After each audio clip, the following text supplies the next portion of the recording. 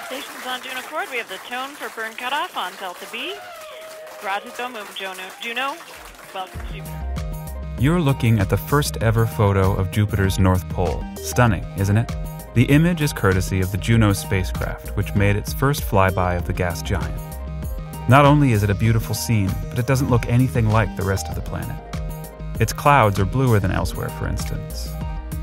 The North Pole also seems to be surprisingly stormy, and the clouds here might be casting shadows, suggesting that they're flying at a higher altitude than the surrounding bits.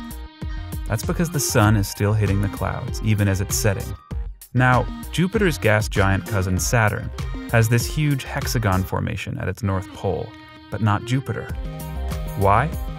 That'll be a mystery Juno might help to unravel. Juno isn't just snapping photos in visible light, it's packed with all manner of other instruments. Check out this infrared shot of the aurora at Jupiter's south pole. Juno has also picked up the aurora's radio signals. This haunting wail is what it sounds like when you convert those signals to noise. So, all told, the spacecraft will do three dozen more close approaches, so get ready to see a lot more of Jupiter in the coming months. Hello, beautiful.